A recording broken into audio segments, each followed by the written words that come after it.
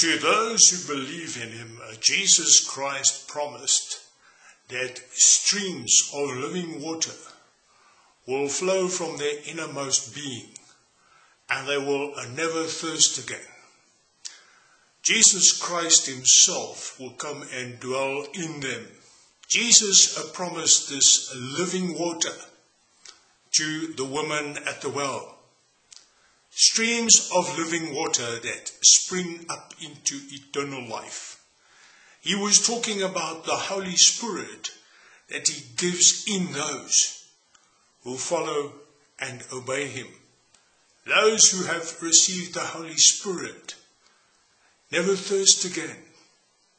They do not need anybody to teach them about Jesus. They uh, do not need to read what others write. They have the Spirit of God living in them, guiding them, teaching them. They are fulfilled because the Spirit of God feeds them every day. Streams of living water flow from their innermost being. They are satisfied. They need nothing because they have Jesus Christ. Have you received the Holy Spirit? Are streams of living water flowing from your innermost? Are you satisfied? Or are you still seeking direction, peace?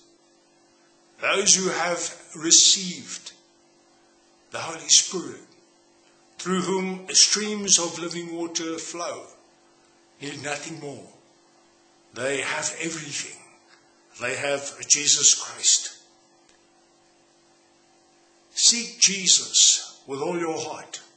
Obey him and ask him to give you some of that living water and you will never thirst again.